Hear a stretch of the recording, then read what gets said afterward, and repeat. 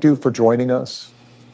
I'm here with the prosecutors and investigators who have worked diligently on the investigation of criminal attempts to interfere in the administration of Georgia's 2020 presidential election.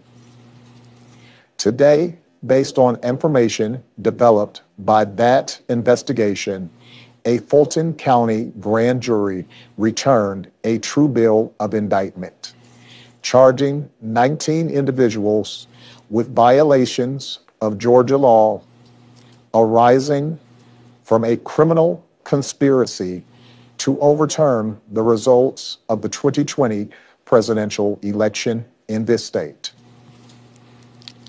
The indictment includes 41 felony counts and is 97 pages long. Please remember that everyone charged in this bill of indictment is presumed innocent. Specifically, the indictment brings felony charges against Donald John Trump,